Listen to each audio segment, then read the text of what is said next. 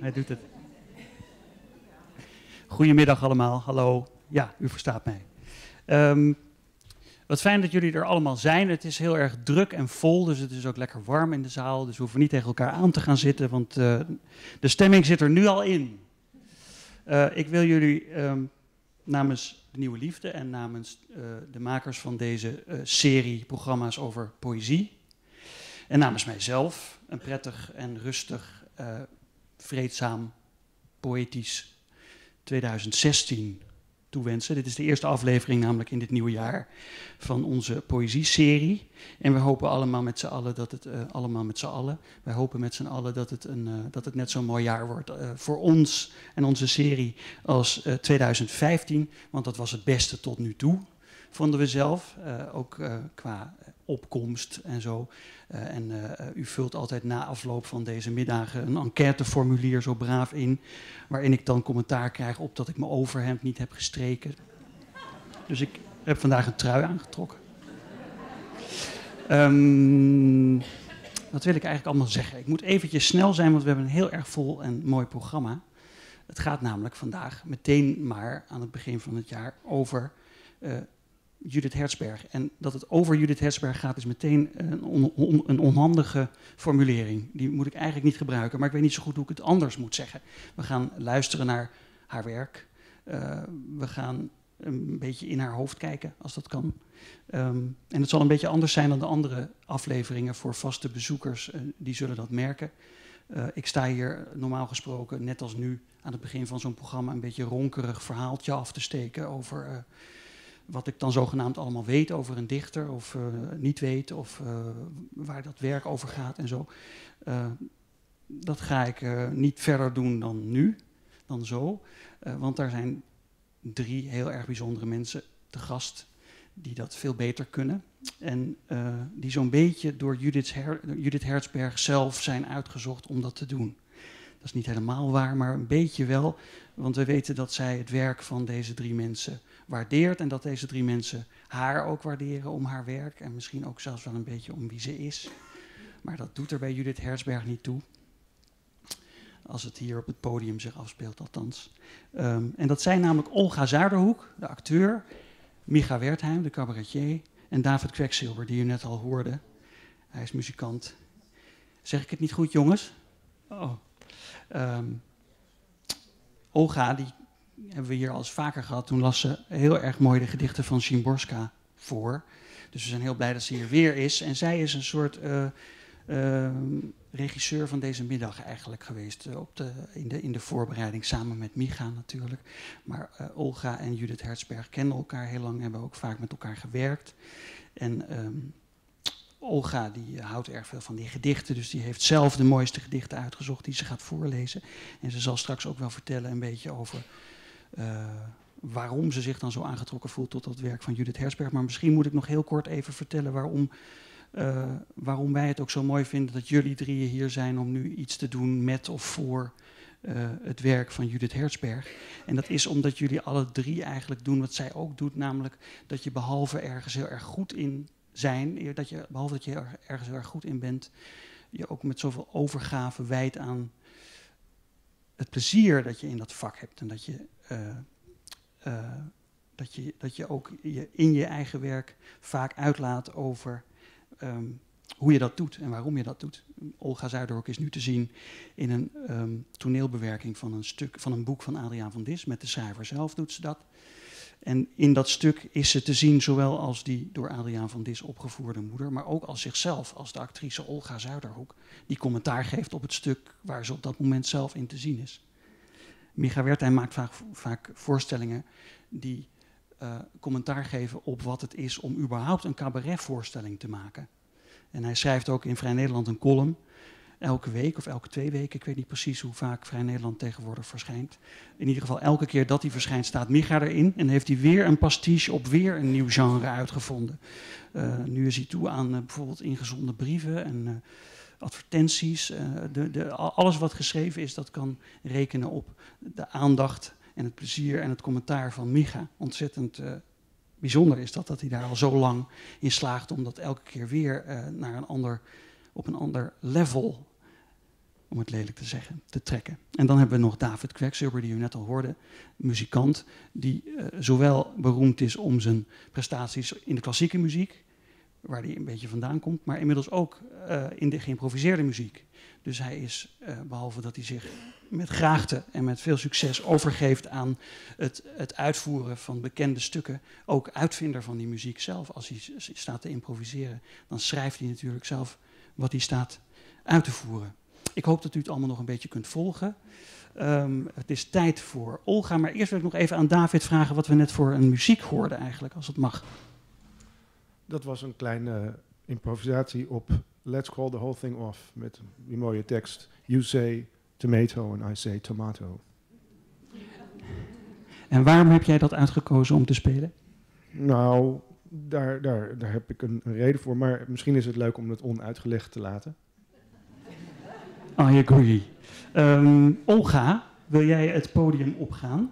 En ga jij dan zelf iets vertellen of zal ik je dan nog iets vragen? Nou, ik wil jou niet je werk opnemen, maar ik ga gewoon vertellen. Dus ik denk niet dat je er nog tussen komt. Olga Zuiderhoek.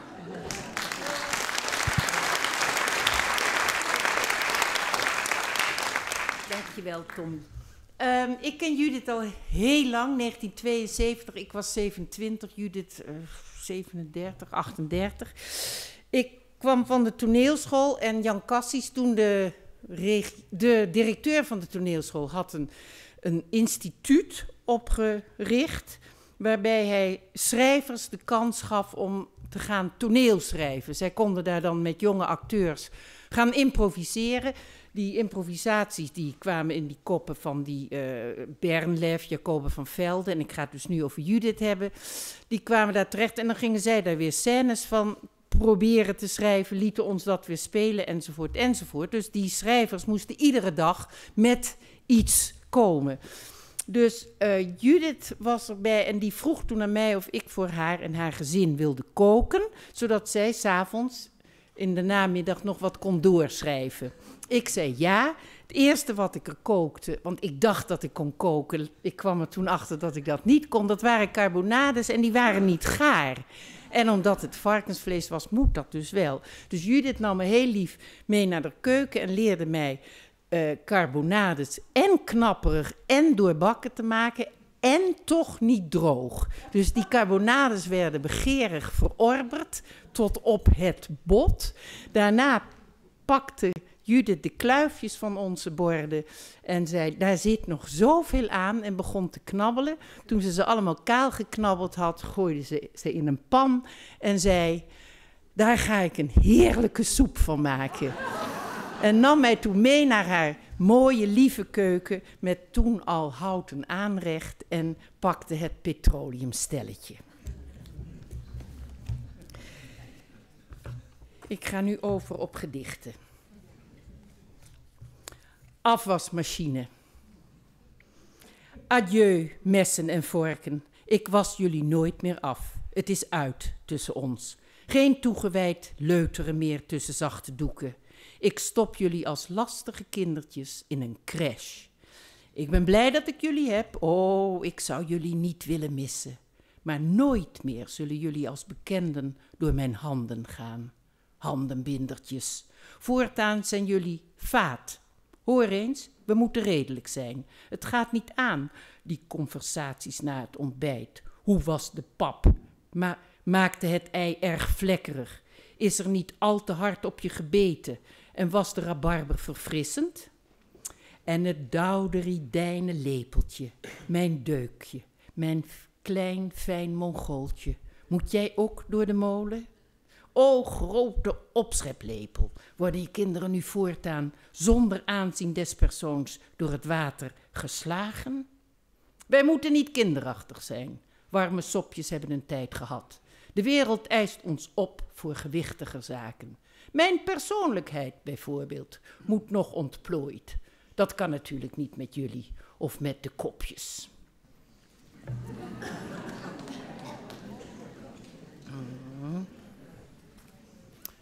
park. Liepen te praten over dingen die we later. Leven is bewegen en bewegen is heel ver en heel langzaam bibberen. Stormbomen boven ons verrekken hun takken. Onder dit park hangt met kleurloze tegenbomen, wit, windstil in de grond, een lichtloos wederpark, waarin schubbige beesten elkaar zelden en schoorvoetend tegenkomen.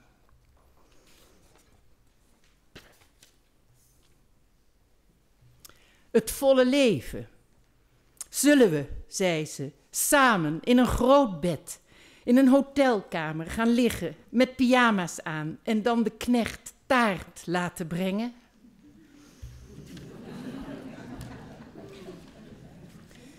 Tweeënveertig. Wilskracht, moed, vastberadenheid. Hoe vaak ons voorgehouden, tot in den treuren, tot diepe treurnis voorgehouden, tot angst, zweet, spijt naar binnen slaat, nagels naar binnen groeien. Het ik dat in ons is, doet samen krimpen. Wij onszelf een kat in de zak. Terwijl rondom ons toch geen wilskracht, vastberadenheid, de hyacinten uit de bol lokt, het hoofd de rust geeft op het kussen, het lichaam aan de pijn geeft als het moet, wacht of het overgaat. Arme oude wilskracht, moed, vastberaad.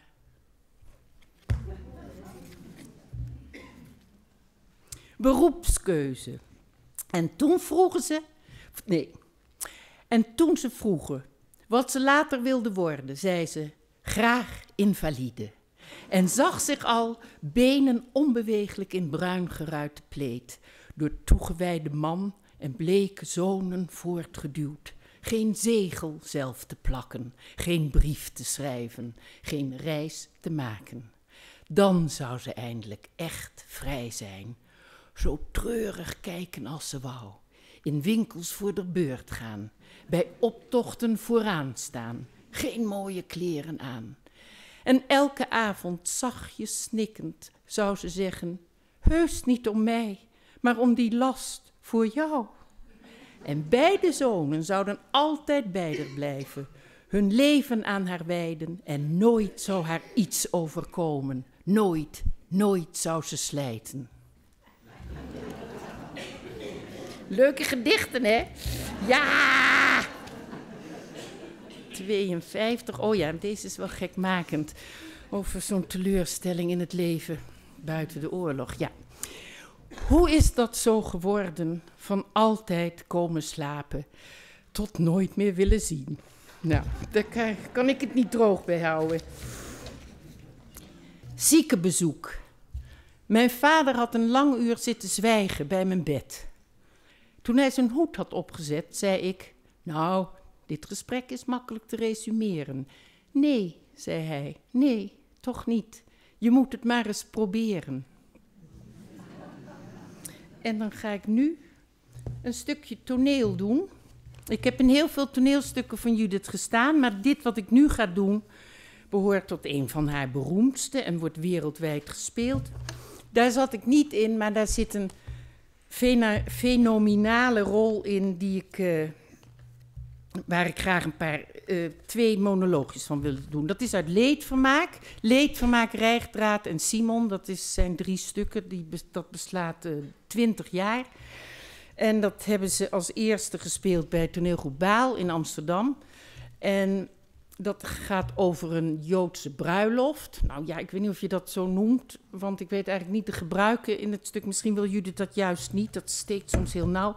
Maar in ieder geval, Lea is in de oorlog geboren en die heeft een moeder en een oorlogsmoeder. En de oorlogsmoeder, daar doe ik twee monoloogjes van.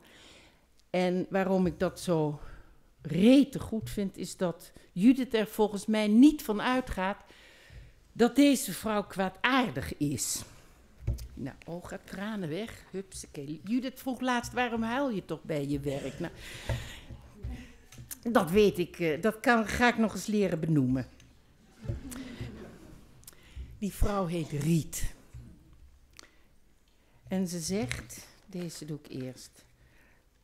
Ik ga nogal veel naar toneel. Meer dan als ik in de stad zou wonen. Als er wat komt, dan ga ik het zien. Hans zegt ja. En nou vraag ik me af, een heel toneelstuk waarbij alle personen Joden zijn. Dat zou natuurlijk niet kunnen, hè? Ik bedoel, want als alle personen Joden zouden zijn, dan zou er niet één slechte eigenschappen mogen hebben.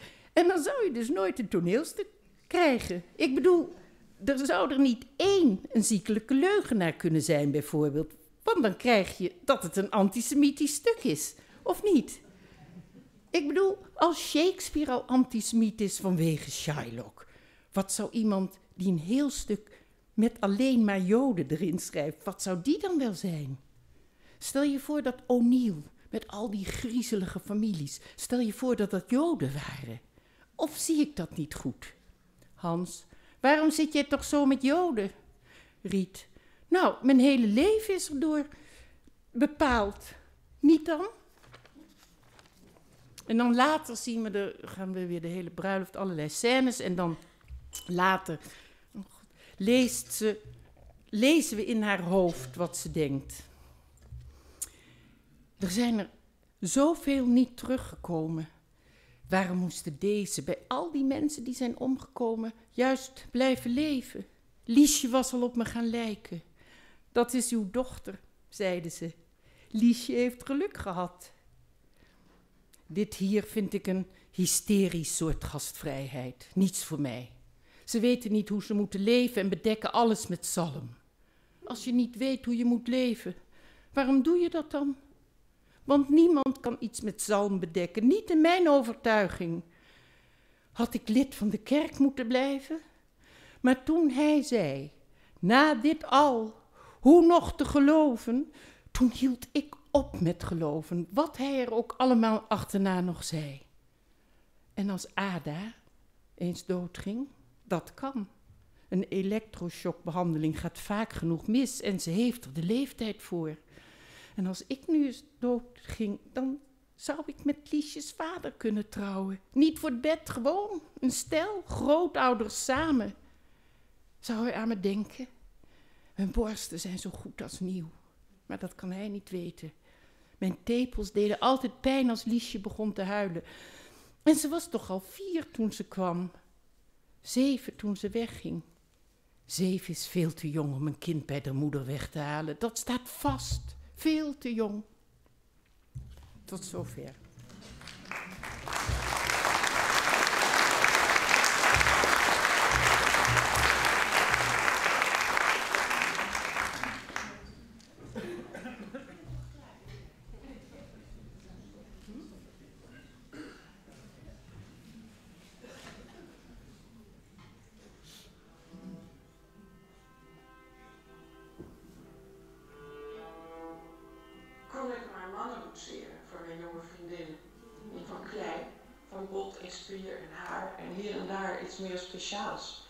Ik zou voor elk een eigen reserveren en een heel bijzonder juist in haar geïnteresseerde. Eén die het liefhebben ver voor zijn vierde heeft geleerd, al het andere is te laat. Want mijn vriendinnen, vooral die ene, gun ik een trouwe, toegewijde, glanzend welriekende aspirantvader. Zo één zoekt ze, al zegt ze van niet en dat ze nooit en dat deze wereld enzovoort. Dat heb ik intussen zo vaak al gehoord.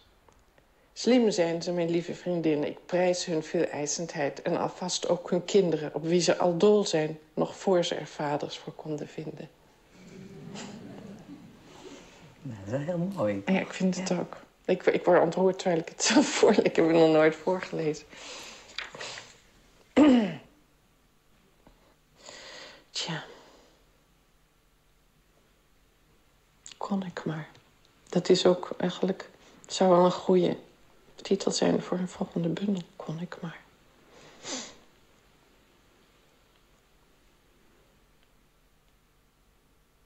Ja, het is gewoon een soort hartekreet. Ik denk heel vaak, dat kon ik dit of dat maar verschaffen voor iemand die, die dat echt heel graag wil.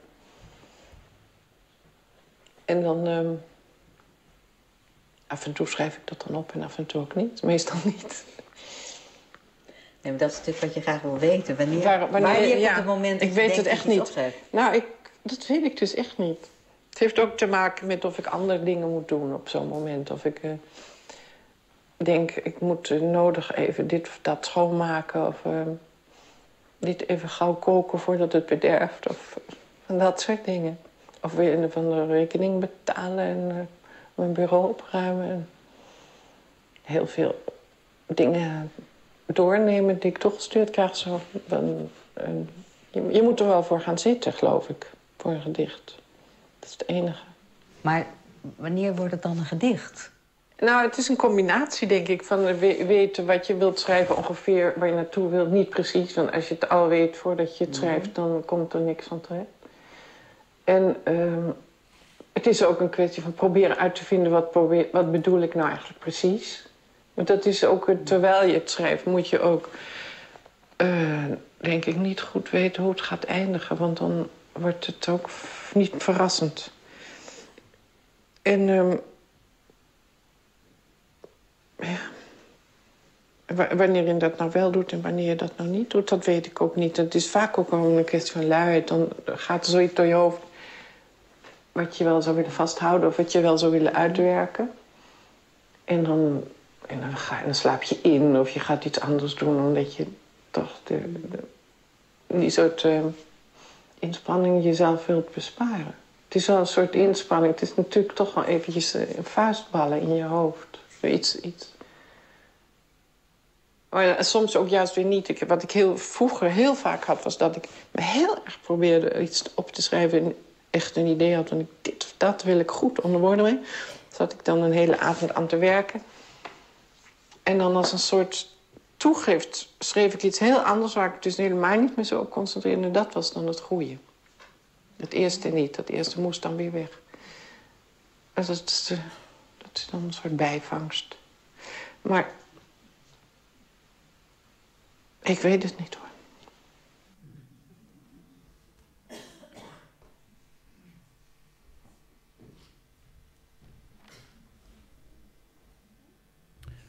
Um, dit waren beelden uit een uh, ongelooflijk mooie film van Saskia van Schaik. Uh, ze is hier vanmiddag ook. Uh, zij heeft een film gemaakt, je kunt hem op internet terugkijken. Hij staat op uitzending gemist. Hij heet Bijna Nooit. En het is een portret van Judith Hertzberg. Althans, dat zegt die website. Maar eigenlijk gaat die film over hoe moeilijk het is om een portret te maken van iemand die leeft en schrijft zoals Judith Hertzberg dat doet. Want uh, dit is nog uh, gewoon een fragment waarin zij een stuk van zichzelf voorleest en daar iets over vertelt. Maar eigenlijk wordt de rest van die film, of een groot deel daarvan, in beslag genomen door het gesprek van de regisseur Saskia met het onderwerp Judith, dat zich de hele tijd uitlaat over hoe die film eruit zou moeten zien en wat er wel en niet uh, daarvan uh, daartoe in beeld zou moeten komen. En op een gegeven moment zegt Judith Hertzberg heel mooi waarom ze zich zo verzet, bijvoorbeeld tegen het werk van een hele vrijpostige cameraman die in haar huiskamer een uh, schaal tomaten zou gaan staan te filmen. Dan zegt ze, ja, dat wekt dan misschien de indruk thuis dat ik die tomaten heel kunstig heb neergelegd, maar ik had gewoon geen plek in de ijskast. Dus die tomaten pasten niet in de groentela, dus die, die liggen daar gewoon zomaar. En ik wil misverstanden zo graag voorkomen.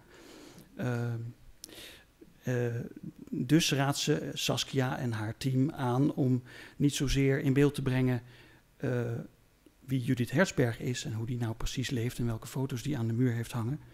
Maar waar Judith Herzberg van houdt en hoe die kijkt en waar ze zich mee omringt. Dus eigenlijk zou de ideale cameraman in het hoofd of in de beleving van Judith Herzberg moeten zitten. Dat zegt ook iets over haar schrijfopvatting, die je zo mooi hoort als Olga die gedichten voorleest. Het gaat heel erg over hoe je, hoe je iets maakt. Um, heb ik gezegd dat de maker Saskia van Schaik heet? Ja, dat heb ik gezegd. Zij maakt overigens altijd hele mooie dingen bij de VPRO. Vaak portretten van schrijvers kunstenaars. Maar dit portret van Judith is wel heel erg mooi. En dat komt ook misschien wel omdat zij elkaar al heel lang uh, kennen en elkaar dus heel erg vertrouwd zijn. Dus ook als kijker zit je heel erg dicht wel op dat proces, dat gevecht wat zij met elkaar leveren over of die film er nou wel of niet moet komen. Dat is prachtig, want die film is er dus en hij staat nu ook tot in de eeuwigheid op internet. Ehm, nu gaan we naar nog een stukje uit die documentaire kijken. En ik vertel dit allemaal een beetje uitvoerig, ook omdat hierna wij gaan uh, luisteren en kijken naar iets dat um, Judith Hertzberg zelf heeft geprogrammeerd, zelf graag wil laten zien. Dus dat is een voorbeeld van hoe zij een portret wel vindt uh, kunnen. Uh, dat je met z'n allen kijkt naar iets waarvan de geportretteerde van deze middag graag wil dat we daar kennis van nemen. En dat is een, um, een fragment, geluidsfragment waarop Marianne Kweksilber, de moeder van David, uh, liederen van Alban Berg zingt onder begeleiding van Rijnbert de Leeuw op piano. Um, een stuk waar uh, Judith Herzberg uh, kennelijk affiniteit mee voelt. En onderwijl gaan wij kijken naar de verzameling van Marianne Kweksilber. En um, zij verzamelde, ja dat kan David eigenlijk beter zeggen dan ik. Uh, we zullen het straks zien. Moeten we gewoon gaan kijken, David, of wil jij daar iets bij zeggen? Misschien moet jij even, ik kom even met de microfoon naar jou toe. Of kom jij even hierheen? Wat, wat is dat precies? Want we gaan foto's zien van wat? Van dingen die mijn moeder mooi vond, waar ze zich graag over ontfermde. En zij zei daarover, uh, zij verzamelde die dingen. En zij, deze foto's zijn gemaakt door Maarten Brinkgeven. was een buurman en vriend en die, dit is een gezamenlijk product. En zij zei over die dingen dat ze uit mededogen voor het afgedankte voorwerp en uit liefde voor, de voor het materiaal en de vorm zo'n beetje alles verzamelde wat haar lief was. Dus. Het project heet Binnenwereld en er is ook een boek van. En die titel lijkt me ook heel relevant voor waarom we daar nu naar gaan kijken. Eerst nog een stukje Judith en Saskia van Schaik. En dan Binnenwereld met Marianne Kweksilber.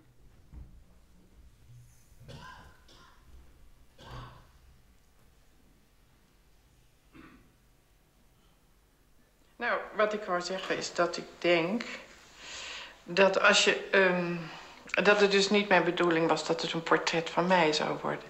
En dat als, als ik dus al gefilmd word, dan ziet iemand iets wat, uh, wat ik dus nooit zie. Behalve als ik in de spiegel kijk, wat ik bijna nooit doe.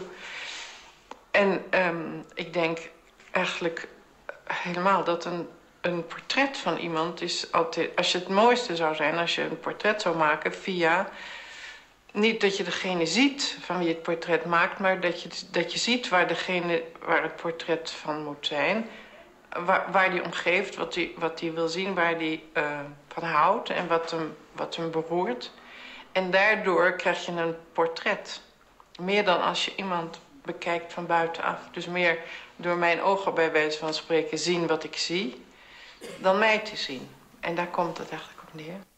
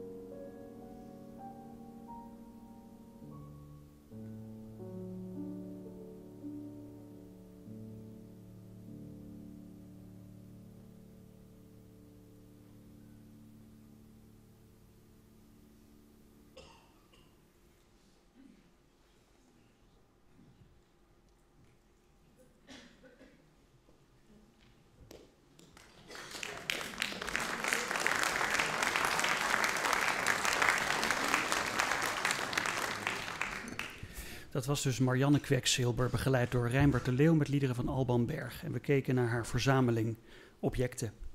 Uh, ik wilde nog even zeggen dat de foto's van Maarten Brinkgeven zijn. Dat is natuurlijk ook een hele mooie, bijzondere manier gefotografeerd.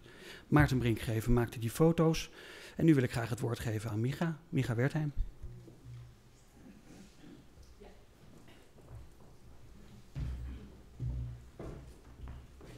Nou, hallo, daar sta ik dan. Uh, want ik zie er een beetje tegenop. Want ik was uh, in, een half jaar geleden of zo werd ik gevraagd al hiervoor. De eerste mail had ik nog de wijsheid om te zeggen dat moet ik niet doen, want ik ben dyslectisch. En toen kwam er nog een mail en toen zei ik nee, ik moet het echt niet doen, want ik ben dyslectisch. En toen kwam er een mail van mij, het lijkt ons leuk en uh, Judith vindt dat leuk. En toen zei ik oké, in de hoop dat ik een half jaar van dan niet meer dyslectisch zou zijn. dat ben ik dus nog wel. Um, maar aan de andere kant, ja, dat is wat het is. En ik, dus het zou kunnen dat ik fouten maak. Dat hoort er dan niet echt bij. Ik weet dat Judith bij mijn laatste voorstelling is komen kijken in de kleine komedie. En halverwege uh, viel het licht uit uh, in de kleine komedie en eigenlijk in het hele Leidseplein. En het publiek dacht tien minuten lang nog dat het erbij hoorde. um, nou ja, ik doe mijn best.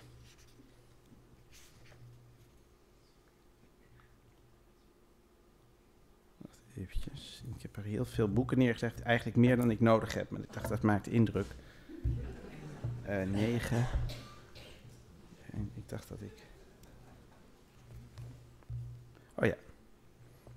Eerste wat ik voor wou lezen, dat gaat een beetje over eh, ja, hoe, wat we hier doen eigenlijk toch net niet lukt. En dat dat is waarom we het doen. Alles wat denkbaar is. Alles wat denkbaar is, fladdert en flitst. Geen la om het in op te slaan. Laat staan sorteren. Wij zoeken toevlucht in wat al is gevangen. Gedresseerd. Boek, film, toneel. Elk gedempt deel van fladderend flitsgeheel. Staat wel op wat we net zagen. Ehm, ja. Ik, uh, ik, ik denk dat ik... Uh, ik heb niet zo heel veel te vertellen over, over Judith Hertzberg. Maar uh, de eerste keer dat ik haar ontmoette was toen ik stage liep bij het VPRO-radioprogramma De Avonden. En daar werd ik een beetje onder de hoede genomen van Wim Brands. Die, die presenteerde daar en die interviewde schrijvers. En toen kwam Judith Hertzberg en ik, ik mocht daar dan bij zitten, want dat is stage lopen. En toen zei hij van, ja, zij heeft er natuurlijk helemaal geen zin in en daar heeft ze ook groot gelijk in. Dat is verschrikkelijk om over poëzie te praten. Dus we gaan het gewoon hebben over boodschappen doen bij de supermarkt. En dan komt de rest vanzelf. En daar moest ik weer aan denken toen ik vandaag met mijn zoon op mijn nek vanochtend door Amsterdam in de regen liep. En mijn hoofd de hele tijd opzij getrokken werd van kijk daar een bus en kijk daar, terwijl ik het helemaal niet kon zien. En tegelijkertijd dacht van, oh god, dit krijg ik terug omdat ik mijn vader altijd aan zijn grijze krullen vastpakte. Want dan kon je zo lekker vastzitten. Vader en zoon in hevige regen. Je zoon op je schouders, boven hem je paraplu. Een lopend torentje in regen van nu. Zelf wees geweest en wees gebleven, zit je daar, zelf, op schouders van ouders, zelf, in de vorm van een zoontje en boven de hoofden een ronde en kleine, maar troostende droogte.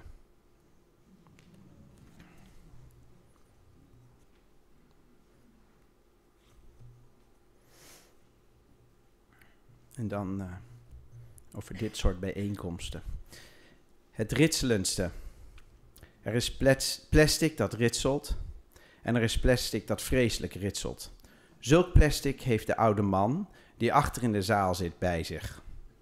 De dichter leest over dood, over Warschau, het ghetto, de donkere schaduw, vleugels van melancholie en ander modern verdriet met toegang voor onbevoegden. De man ritselt naar voren. Staat bij de uitgang, moet misschien piezen. Iemand behulpzaam opent de piepende deur. De dichter leest door, meent te moeten beleven.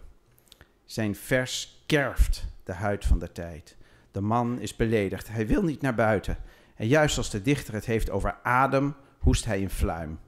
Dan ritselt hij, ritselt, verschrikkelijk. De oude man met zijn stok en met tas van verschrikkelijk ritselend plastic. Doof als hij is, knispert hij, mompelend weer naar zijn plaats. In zijn al bijna basalte hand, het ritselendste waar iets in zit.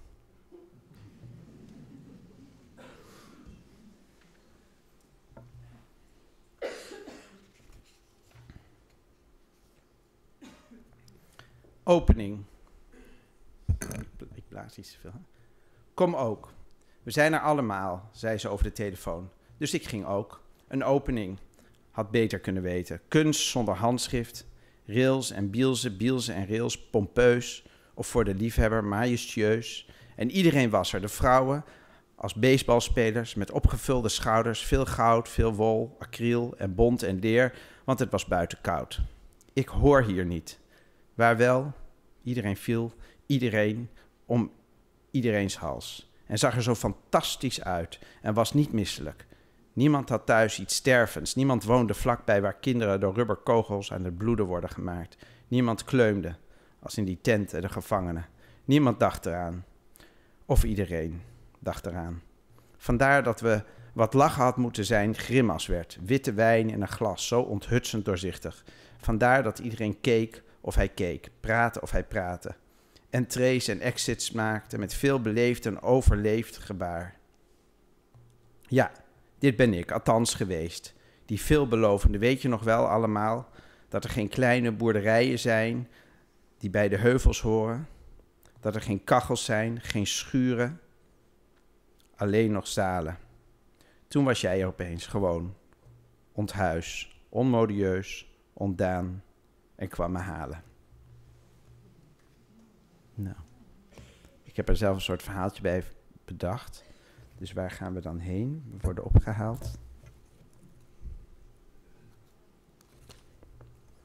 Alleen in een klein huis. Alleen in een klein huis kan je behoorlijk denken. De muren zijn dichtbij genoeg. Weren de regen met gesneden voegen. Die regen moet je kunnen horen. Het dak lekt op bekende plekken. Daar heb je plastic neergelegd, emmers gezet. Als er een raam is, zelfs een plant, alleen in een klein huis, kan je behoorlijk denken. Alleen in een klein huis kan je behoorlijk denken.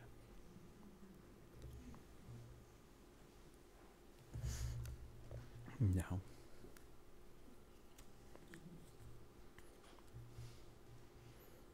Dit, uh, dit is een, uh, uit het boekje 111 hopla's. Hopla's zijn hele kleine versjes, gedichtjes. Kevertje. Als een omgerolde kever met alle pootjes in de lucht weet hij precies wat hij nu wil. Alleen dat lukt hem niet zo vlug.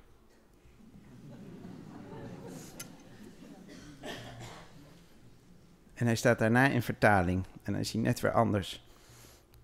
Upset. Like an upset beetle. On its back. He doesn't have a lack of purpose, but a lack of speed.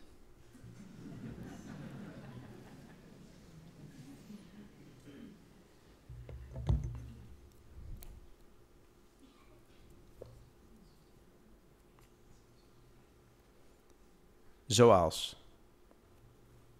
Zoals je soms een kamer ingaat, niet weet waarvoor en dan terug moet langs het spoor van je bedoeling. Zoals je zonder tasten snel iets uit de kast pakt. En pas als je het hebt, weet wat het was. Zoals je soms een pakje ergens heen brengt en bij het weggaan steeds weer denkt, schikt. Dat je te licht bent. Zoals je je wachtend, minutenlang hevig verliefd in elk nieuw mens, maar toch het meeste wachtend bent. Zoals je weet, ik ken het hier, maar niet waar het om ging. En je een geur te binnen schiet bij wijze van herinnering, zoals je weet bij wie je op alert en bij wie niet. Bij wie je kan gaan liggen, zo. Denk ik, denken dieren. Kennen dieren de weg.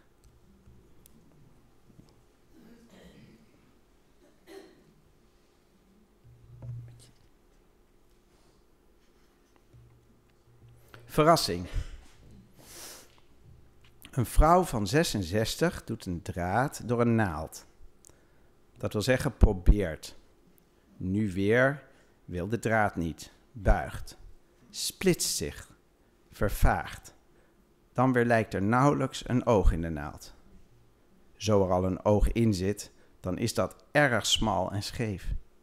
De naald beweegt, beeft, alsof bang voor die draad. Maar de draad is zelf ook niet zo zeker.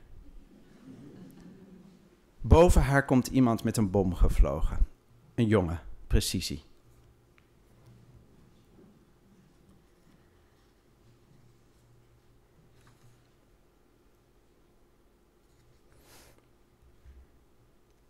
Er zijn tijden.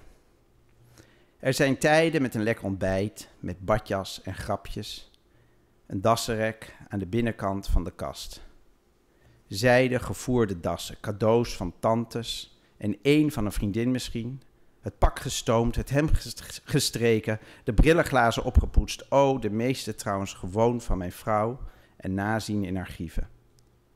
Er zijn tijden met ontbijt in rijdende kantines. Slechte bediening, harde zolen met ijzers eronder. Groene hemden, groene petten, groene struiken. Alleen de onderscheidingen onderscheiden. Zeer. Die hebben kleur en verwijzen naar onder andere dat wat in naam van, onder andere aller, onder andere. Er zijn tijden zonder slaap, zonder water. Gezwollen, koude, barstende voeten. Rennen omdat, stilstaan omdat, liggen omdat. Vlooien, luizen, lijken, stront in broek, bloed op schoen. Tijd 1 kan tijd 3 niet begrijpen. Dat is spijtig. Spijtig voor beiden. Tijd 2 begrijpt niets van begrijpen. Tijd 3 is er voorbij, buiten bereik. Tijd 1 blijft. Na het ontbijt, tijd 2 ijverig, fel, met veel feiten, dagelijks tot 10 voor 5 verwijten. Soms zelfs 's avonds. Schat, het spijt mij.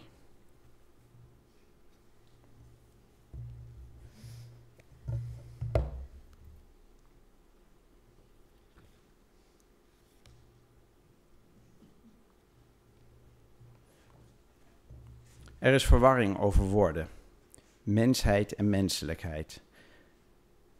Waar het om misdaad gaat, begaan. Waarom niet misdaad tegen mensen of tegen één? De termen slaan, windgolven, tegen wering stuk. Zoals atrocities, ook al begrip meteen. so- sorry, ja, zie. Ik, ik ga het gewoon even opnieuw doen. Ja, dit is precies, eh, ik zie een woord, ik denk, hè, terwijl nou, vergeten alles. Target. Er is verwarring over woorden, mensheid en menselijkheid. Waar het om misdaad gaat, begaan. Waarom niet? Misdaad tegen mensen of tegen één. De termen slaan windgolven tegen wering stuk. Zoals atrocities ook als begrip meteen uiteen spat.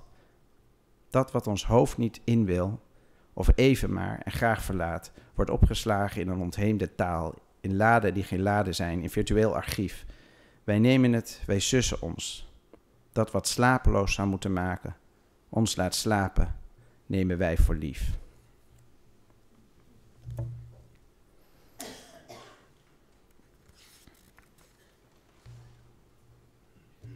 Ja, sorry dat het een beetje veel over de oorlog gaat, maar dat eh, vond het eh, de afgelopen weken steeds actueler worden. In Flanders Fields. En dit is een vertaling, begrijp ik, van Jossi Sarit. Maar ik vond het leuk om ook een vertaling te doen. En ik vond het, eh, ik, nou, ik doe zo ook nog een andere, eh, iets afwijkende vorm van gewoon een gedicht schrijven. Altijd van plan geweest, vermoedelijk, beïnvloed door Jacques Brel, om iets weemoedigs over Vlaanderen te schrijven. Mijn kans is nu gekomen. Er werd een paar soldatenlazen opgepiept, opgediept, bij Yper. Van een die hier op zo'n geweldig slagtocht, slagveld van wereldoorlogen één gesneuveld is. Een foto van die gapende laarzen werd wereldwijd verspreid. Wat een geluk dat bij de opgraving in Vlaanderen de modder zo diep was. Wat een geluk dat hier laarzen gedragen werden. Wat een geluk ook dat het leer waar ze van waren zo onverslijtbaar was. En een geluk dat men juist hier een snelweg aan gaat leggen. Het was heel moeilijk om met zekerheid te achterhalen welke soldaat het was afgaand op deze laarzen van wie ze waren. Duits, Engels, Frans, misschien een Belg. Van eminent belang na zoveel jaar anonimiteit is vanzelfsprekendheid zijn nationaliteit. Dat hij heel zeker Brit was, is komen vast te staan door middel van één knoop die naast die laarzen lag. Wat een geluk dat het in Vlaanderen zo koud was. Wat een geluk dat die soldaten winterjassen droegen. Wat een geluk dat aan die lange militaire mantels van die oerdegelijke knopen zaten. En een nog groter geluk dat niet alle knopen van alle jassen, van alle soldaten, van alle legers eendere knopen waren. Er was verschil. Dat is Gods wil.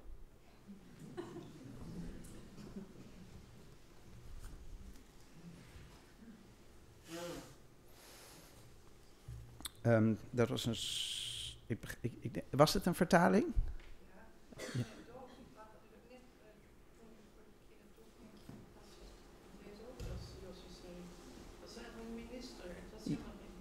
Ja, ja, ja, wat dat weet ik. Ja.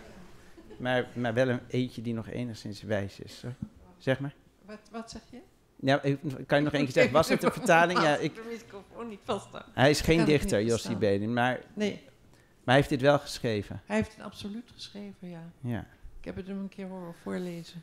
ja, hij kan heel mooi praten, ook over Israël. Dat je bijna weer moed krijgt. Dat ja, is, eh, maar hij is nu dus dood.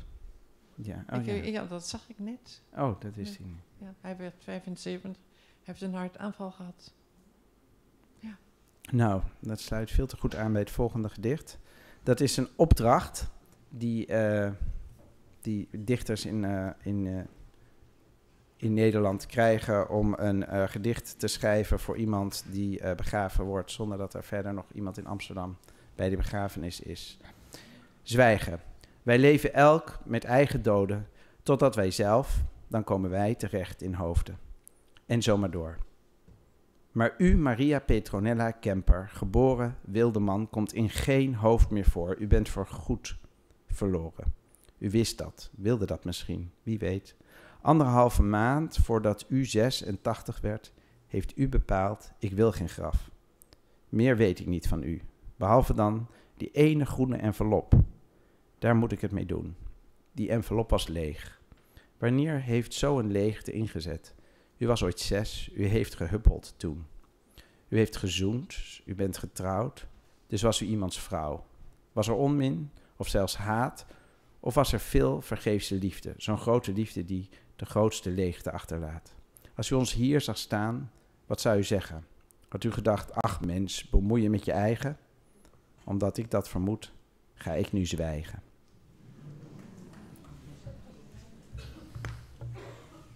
Ehm,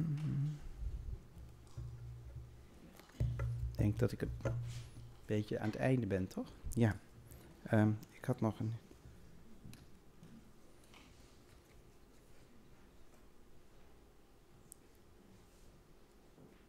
Ja. Daglicht. Uit chaos van lakens en voorgevoel opgestaan, gordijnen open, de radio aan, was plotseling Scarlatti, heel helder te verstaan. Nu alles is zoals het is geworden, nu alles is zoals het is, komt het, hoewel, misschien hoewel, tenslotte nog in orde.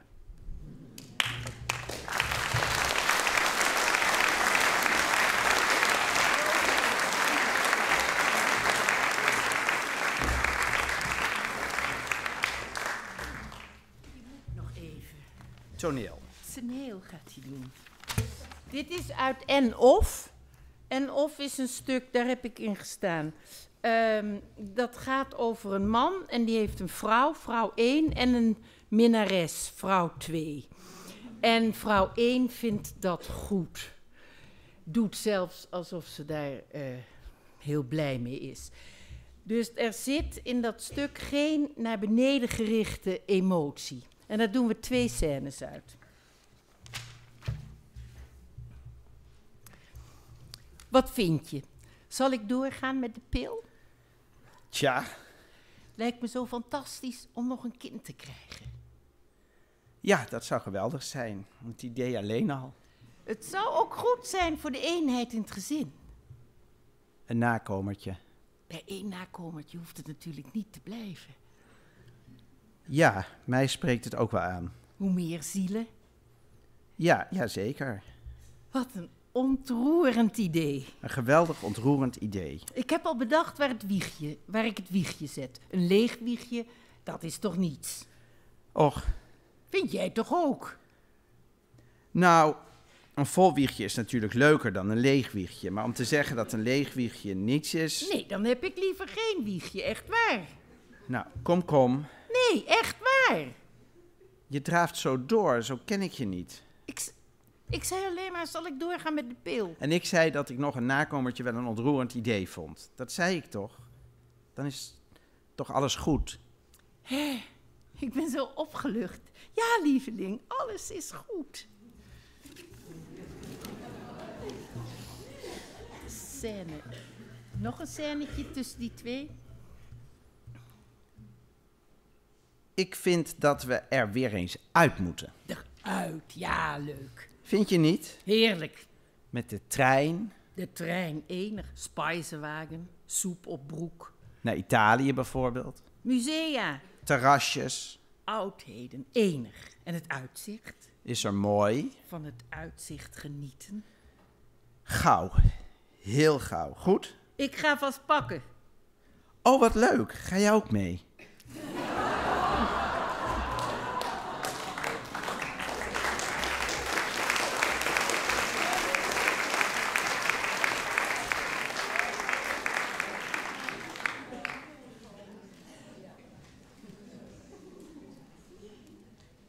Heb je eigenlijk eh, van de tijd dat je ondergedoken zat dingen meegenomen? Ik heb nog ergens een pennendoosje, maar ik ga niet waar. Zo'n houten dingetje.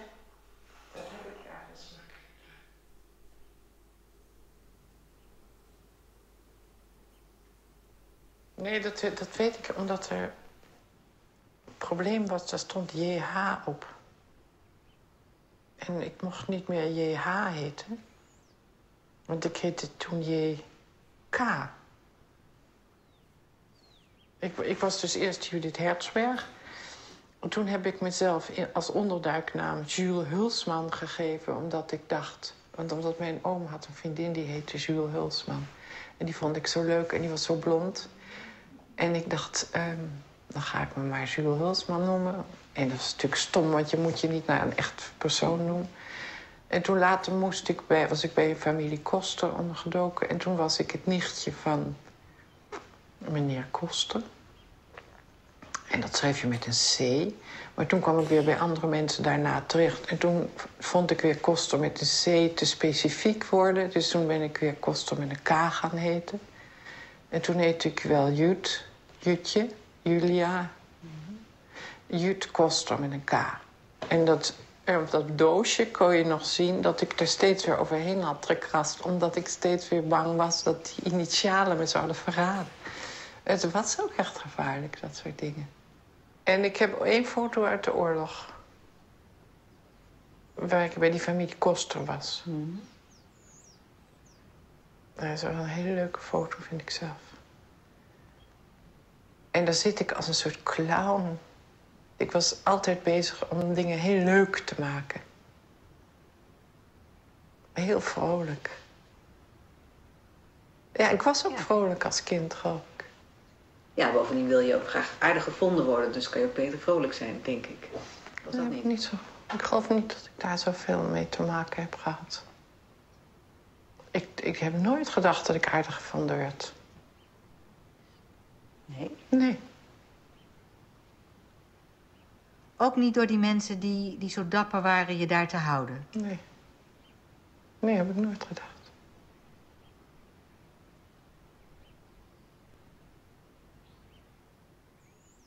Nee, nee, ik weet niet waarom ze het eigenlijk deden, maar niet omdat ze mij aardig vonden. Want ze deden het, ze, hadden het al, ze waren het van plan voordat ze mij überhaupt hadden gezien. Dus ik werd daar naartoe gebracht.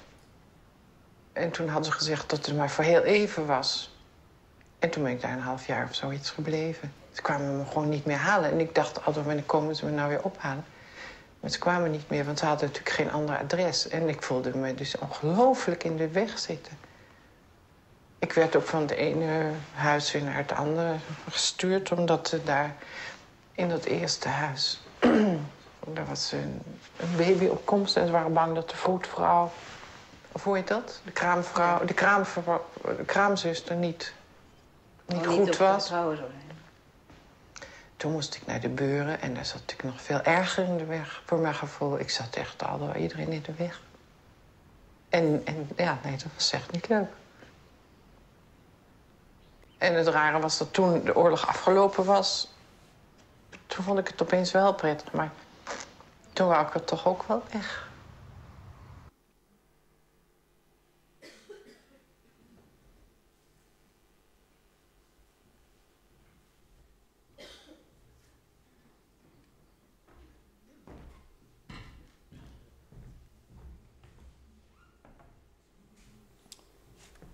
In dit deel voor klarinet solo uit het kwartet voor het einde der tijden van Olivier Messiaen.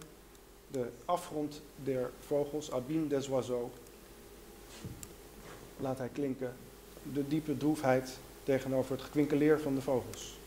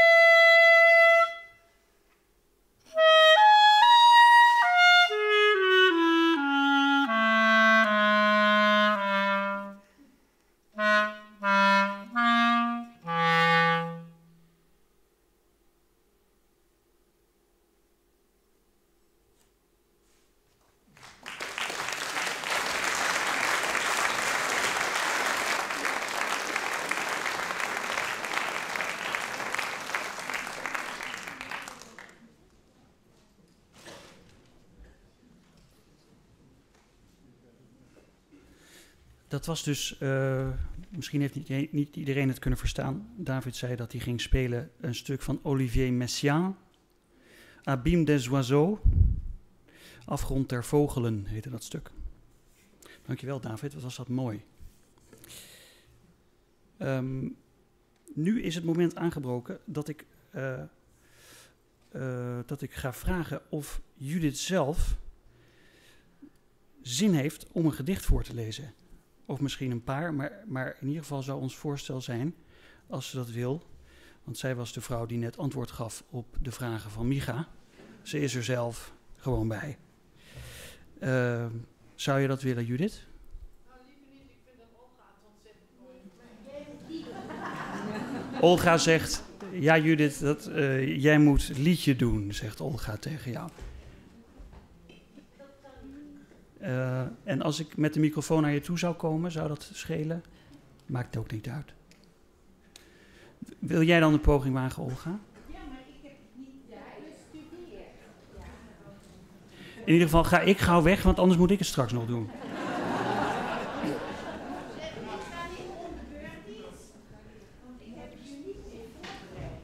Misschien ben ik ook wat dyslectisch. Um, Ja, maar welke is... Ja, maar waar? Ja, maar daar krijgt Judith dus de lachers mee op de hand. Het is echt ju eentje maar. En dan blijf ik naast je staan. Ja, ja kom op.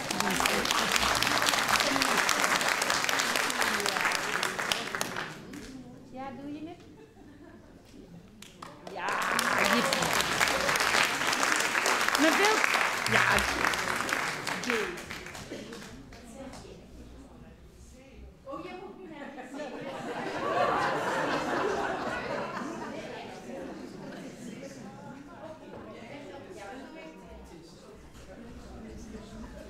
laat ik liggen voor u. En dan uh, ga ik nu gewoon. Ik ga nu de tijd opvullen. wat zij wilde schilderen. Zij schildert wat zij niet kan eten, niet kan bezitten, niet beschrijven. Zij schildert wat niet stil blijft. Zitten niet gelijk, blijft niet veranderd. Zij schildert wat zij niet kan kweken, niet kan vangen, niet vergeten. Zij schildert wat zij niet kan raden, pakken of begrijpen. Wat ze niet omhelzen kan, verwennen of verwijten. Verwaarlozen, laten verwilderen, omhakken, verscheuren, verbranden, betreuren. Zij schildert waar zij niet van slapen kan. Wat ze zich niet herinnert, niet in kleur. Wat zij niet zingen kan, niet juichen. Het onomlijnde blijft onomlijnbaar lokken. Ja, ze kan wel schrijven, hè? We mogen nou het over de hebben, ze is er niet. Nee, want dat vind ik nog best eng om dat te vertellen over dat ik haar leerde kennen, omdat ze uh, niet over privé, dat, dat, dat wil ze beschermen. En daar heeft ze ook groot gelijk in en dat siert er ook. Maar uh, daardoor, eh, ik, ik, kan dan nu nog wel zeggen dat ik daarna altijd vriendin met haar ben gebleven, maar ook bijna als zussen.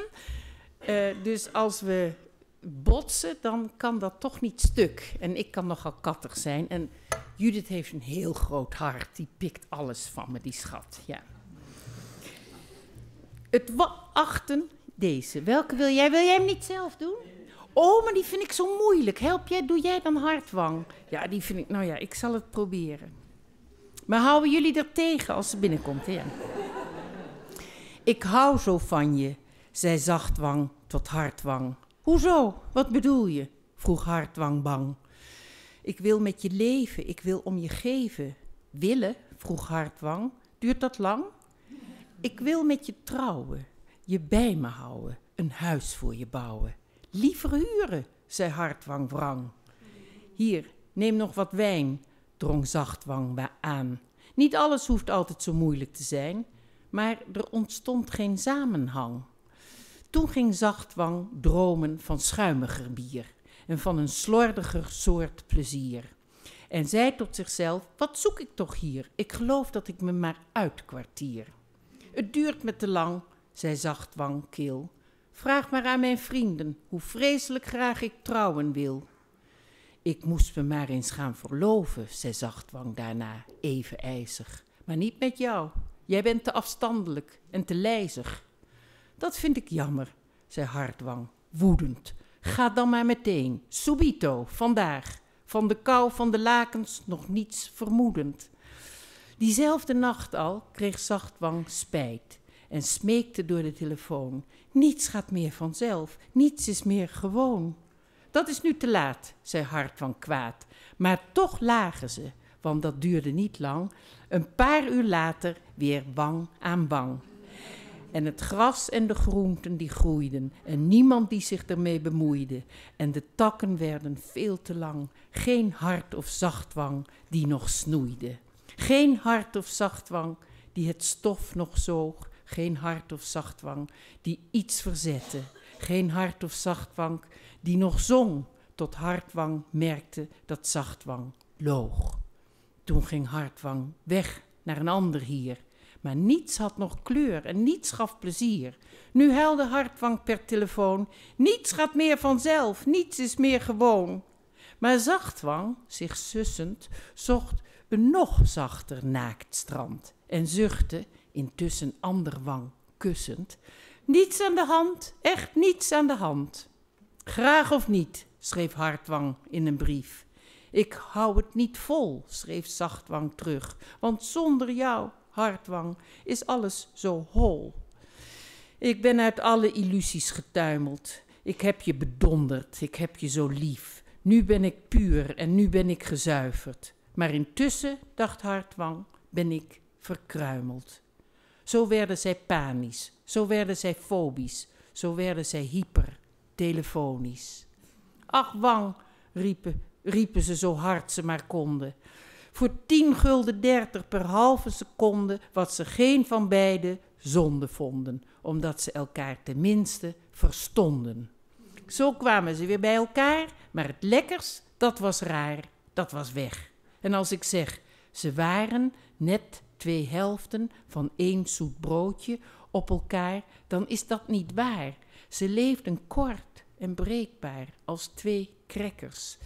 Nou, ik deed niet zo goed, maar dat kwam dat niet voor. Jippie! Deze. Ja, dat is echt goed. Die Ja. wil je toch wel? Maar, Ja. ehm, heb je die van het wachten op de halte voorgelezen intussen? Wat zeg je? Lezen, heb je die voorgelezen? Oh ja. Nee, het duurde even omdat ik het niet kon vinden, de wc. Oh. Ik heb helemaal geen richtinggevoel. nou, dit is heel mooi om mee af te sluiten. Het duurt altijd langer dan je denkt. Ook als je denkt, het zal wel langer duren dan ik denk. Dan duurt het toch nog langer dan je denkt. Het is altijd veel duurder dan je denkt. Ook als je denkt, het zal wel duurder worden dan ik denk. Dan wordt het toch nog duurder dan je denkt. Het kost meer moeite dan je denkt. Ook als je denkt, het zal wel veel meer moeite kosten dan ik denk. Dan kost het toch meer moeite dan je denkt. Het duurt veel korter dan je denkt. Ook als je denkt, het zal wel korter duren dan ik denk. Dan duurt het toch nog korter dan je denkt.